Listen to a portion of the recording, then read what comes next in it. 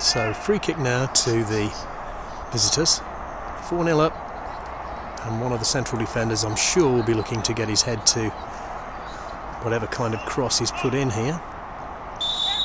Referee blows that whistle. In it comes. And it's gone in. Unbelievably, no offside.